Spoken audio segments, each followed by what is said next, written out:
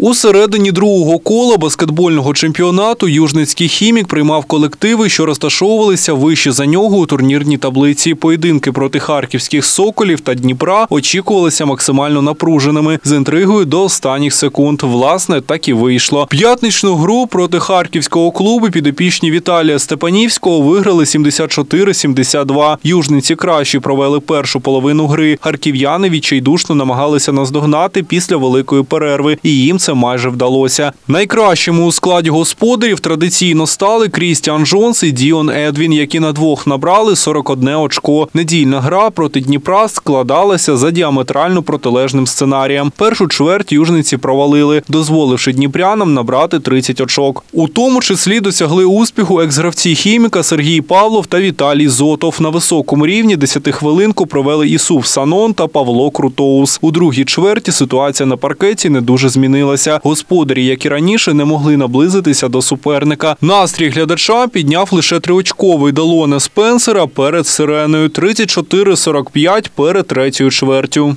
А ось вже третій ігровий відрізок став у матчі визначальним. Господарі продемонстрували свої найкращі якості та повернулися до гри. Знову блискуче виступив тандем Джонс Едвін 28-14 за підсумками 10 хвилин. На четверту чверть команда Віталія Степанівського виходила вже як лідер. На щастя, южниці своєї переваги не втратили 78-73. Хімік після подвійного успіху закріпився на шостому місці.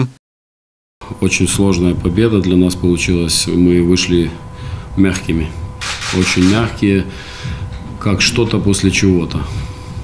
Мои помощники поймут меня. И пришлось